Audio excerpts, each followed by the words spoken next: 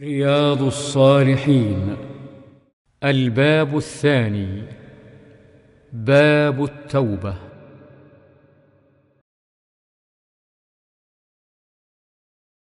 حتى إذا مضت أربعون من الخمسين واستلبث الوحي إذا رسول رسول الله صلى الله عليه وسلم يأتيني فقال إن رسول الله صلى الله عليه وسلم يأمرك أن تعتزل امرأتك. فقلت أطلقها أم ماذا أفعل؟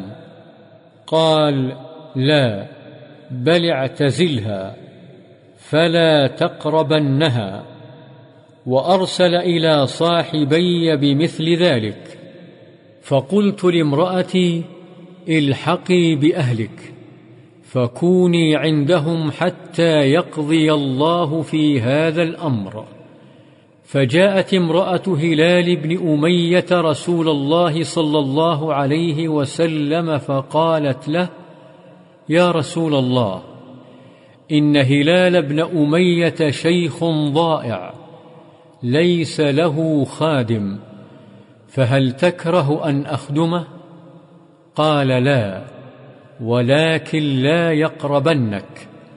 فقالت إنه والله ما به من حركة إلى شيء ووالله ما زال يبكي منذ كان من أمره ما كان إلى يومه هذا. فقال لي بعض أهلي لو استأذنت رسول الله صلى الله عليه وسلم في امرأتك فقد أذن لامرأة هلال بن أمية أن تخدمه فقلت لا أستأذن فيها رسول الله صلى الله عليه وسلم. وما يدريني ماذا يقول رسول الله صلى الله عليه وسلم إذا استأذنته فيها وأنا رجل شاب. فلبثت بذلك عشر ليال. فكمل لنا خمسون ليله من حين نهي عن كلامنا Ketika berlalu 40 hari dari 50 hari pengucilan diriku dan belum juga turun wahyu mengenai kasus kami bertiga, tiba-tiba utusan Rasulullah Shallallahu Alaihi Wasallam mendatangiku seraya menyampaikan, Rasulullah menyuruhmu agar menjauhi istrimu. Maka aku pun bertanya kepada utusan tersebut, haruskah aku menceraikannya atau apa yang harus kulakukan terhadapnya? Utusan itu menjawab, tidak harus begitu, tetapi jauhilah dia dan jangan sekali-kali mendekatinya. Rasulullah Shallallahu Alaihi Wasallam juga mengirim utusan yang sama kepada kedua sahabatku, yaitu Murarah bin Ar-Rabi dan Hilal bin Umayyah. Lalu aku berkata kepada istriku, temuilah keluargamu, tinggallah bersama mereka sementara waktu hingga Allah memberikan keputusan mengenai masalah ini. Kemudian istri Hilal bin Umayyah mendatangi Rasulullah Shallallahu Alaihi Wasallam seraya bertanya, wahai Rasulullah, Hilal bin Umayyah sudah sangat tua, lagi lemah, serta tidak memiliki pembantu. Maka tidak senangkah engkau apabila aku melayani dirinya? Rasulullah Shallallahu Alaihi Wasallam menjawab, tidak apa-apa, kamu melayaninya, tetapi jangan sekali-kali dia berhubungan intim denganmu. Istri Hilal lalu menanggapi, demi Allah, dia sudah tidak berhasrat terhadapku. Bahkan demi Allah, dia terus-menerus menangis sejak mengalami masalah ini sampai hari ini. Karena itulah sebagian keluargaku mengusulkan, bagaimana jika kamu meminta izin kepada Rasulullah perihal istrimu, mengingat beliau telah mengizinkan istri Hilal bin Umayyah tetap melayani suaminya. Namun aku menegaskan, aku tidak akan meminta izin kepada beliau dalam hal ini. Aku tidak tahu jawaban apa yang akan Rasulullah berikan apabila aku meminta izin perihal masalah itu, apalagi aku seorang yang masih muda. Maka aku pun terus menjalani keadaan seperti itu selama 10 hari, sehingga genaplah sudah 50 hari semenjak orang-orang dilarang berbicara dengan kami. قال ثم صليت صلاة الفجر صباح خمسين ليلة على ظهر بيت من بيوتنا فبين أنا جالس على الحال التي ذكر الله تعالى منا قد ضاقت علي نفسي وضاقت علي الأرض بما رحبت سمعت صوت صارخ أوفى على سلع يقول بأعلى صوته يا كعب بن مالك أبشر فخررت ساجدا وعرفت أنه قد جاء فرج. قال فآذن رسول الله صلى الله عليه وسلم الناس بتوبة الله عز وجل علينا حين صلى صلاة الفجر. فذهب الناس يبشروننا فذهب قبل صاحبي مبشرون وركض رجل إلي فرسا.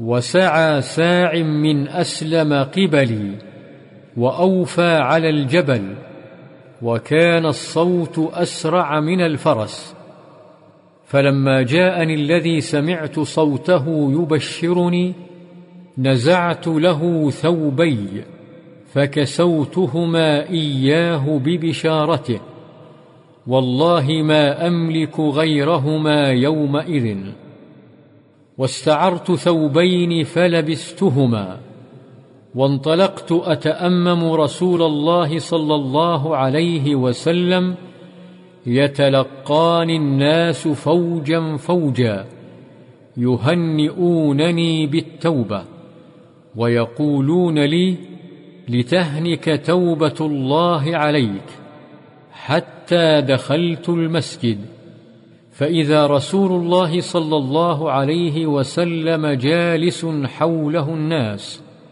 فقام طلحة بن عبيد الله رضي الله عنه يهرول حتى صافحني وهنأني. والله ما قام رجل من المهاجرين غيره فكان كعب لا ينساها لطلحة. Selanjutnya, aku melaksanakan sholat subuh pada hari ke-50 di atas salah satu rumah kami. Lantas ketika aku sedang duduk dalam kondisi yang disebutkan Allah mengenai kami, sedangkan jiwaku terasa sesak, begitu juga bumi yang amat luas terasa amat sempit bagiku. Tiba-tiba aku mendengar suara keras, yakni suara teriakan orang yang menaiki bukit Sal'a. Orang itu lalu berseru, Wahai Ka'ab bin Malik, bergembiralah. Maka aku langsung tersungkur sujud, karena saat itu juga aku mengetahui bahwasanya jalan keluar dari masalah kami telah datang. Kemudian Rasulullah Shallallahu Alaihi Wasallam mengumumkan kepada orang-orang perihal diterimanya taubat kami oleh Allah, yakni seusai beliau melaksanakan sholat subuh. Lalu orang-orang bergegas pergi untuk memberitahu kami. Mereka pun dengan berbondong-bondong mendatangi kedua sahabatku untuk menyampaikan kabar gembira itu. Ada seorang laki-laki yang datang kepadaku dengan menunggangi kuda, dan ada juga seseorang dari Bani Aslam berlari ke arahku, kemudian naik ke atas bukit dan menyeru dengan suara yang keras, sehingga suara itu terdengar lebih cepat daripada larinya kuda. Dan sewaktu datang kepadaku, orang yang aku mendengar suaranya ketika menyampaikan berita gembira tadi, aku langsung melepas dua pakaianku dan mengenakan keduanya kepadanya sebagai ucapan terima kasih atas berita gembira yang disampaikannya. Demi Allah, ketika itu aku tidak mempunyai apa-apa selain keduanya. Karena itulah aku harus meminjam dua pakaian yang dapat digunakan untuk kupakai menutupi tubuhku. Selanjutnya, aku hendak menghadap Rasulullah Shallallahu Alaihi Wasallam dan orang-orang ketika itu berbondong-bondong menyambutku untuk memberikan selamat atas diterimanya taubatku. Mereka mengatakan, Selamat atas diterimanya taubatmu oleh Allah. Akhirnya aku memasuki masjid, dan ternyata Rasulullah Shallallahu Alaihi Wasallam tengah duduk dikelilingi para sahabat beliau. Setelah itu, Tolhah bin Ubaidillah berdiri seraya berlari-lari kecil kemudian menyalamiku serta memberikan ucapan selamat kepadaku. Demi Allah, tidak ada seorang pun dari kaum muhajirin yang berdiri kecuali Tolhah. Oleh karena itulah, Ka'ab tidak pernah melupakan kebaikan Tolhah. Qala Ka'ab, فلما سلمت على رسول الله صلى الله عليه وسلم قال وهو يبرق وجهه من السرور ابشر بخير يوم مر عليك مذ ولدتك امك فقلت أمن عندك يا رسول الله ام من عند الله؟ قال لا بل من عند الله عز وجل. وكان رسول الله صلى الله عليه وسلم إذا سر استنار وجهه حتى كأن وجهه قطعة قمر. وكنا نعرف ذلك منه. فلما جلست بين يديه قلت يا رسول الله إن من توبتي أن أنخلع من مالي صدقة إلى الله وإلى رسوله. فقال رسول الله صلى الله عليه وسلم أمسك عليك بعض مالك فهو خير لك. فقلت إني أمسك سهم الذي بخيبر. وقلت يا رسول الله إن الله تعالى إنما أنجاني بالصدق وإن من توبتي ألا أحدث إلا صدقا ما بقيت فوالله ما علمت أحدا من المسلمين أبلاه الله تعالى في صدق الحديث منذ ذكرت ذلك لرسول الله صلى الله عليه وسلم أحسن مما أبلاني الله تعالى. والله ما تعمدت كذبة منذ قلت ذلك لرسول الله صلى الله عليه وسلم إلى يومي هذا. وإني لأرجو أن يحفظني الله تعالى فيما بقي. قال فأنزل الله تعالى لقد تاب الله على النبي والمهاجرين والأنصار الذين اتبعوه في ساعة العسرة حتى بلغ إنه بهم رؤوف رحيم.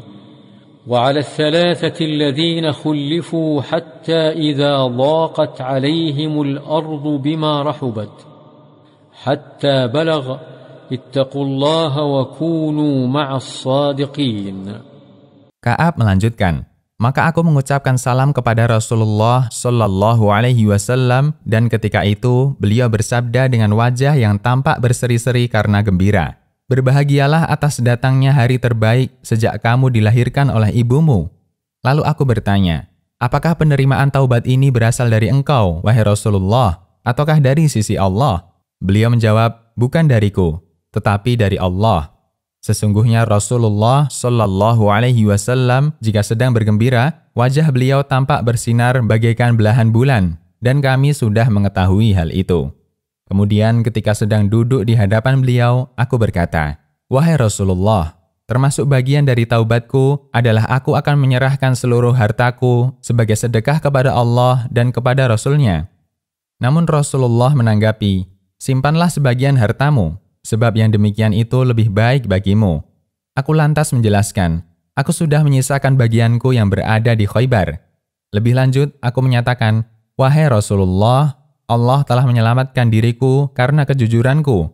Maka sesungguhnya di antara taubatku, ialah aku bertekad untuk selalu jujur dalam berbicara selama menjalani sisa hidupku ini. Demi Allah, aku tidak mengetahui seorang pun dari kaum muslimin yang diuji oleh Allah melalui perkataan jujur sejak aku mengungkapkan tekad tersebut kepada Rasulullah Shallallahu Alaihi Wasallam yang lebih baik daripada apa yang telah diujikan oleh Allah yang Maha Tinggi kepadaku. Demi Allah, aku tidak pernah sengaja berdusta sejak aku mengungkapkan tekad ini kepada Rasulullah Shallallahu Alaihi Wasallam sampai hari ini. Sungguh aku berharap mudah-mudahan Allah senantiasa melindungiku dari kedustaan dan dari dosa selama menjalani sisa hidupku ini. Kaab melanjutkan, lalu Allah menurunkan firman-Nya berikut. Sesungguhnya Allah telah menerima taubat Nabi, orang-orang muhajirin, dan orang-orang ansor yang mengikuti Nabi dalam masa kesulitan.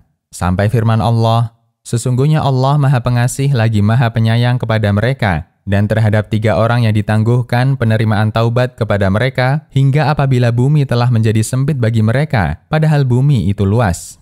Sampai dengan firman Allah, Bertakwalah kepada Allah, dan hendaklah kamu bersama orang-orang yang benar. Quran Surat At-Taubah ayat 117 hingga 119.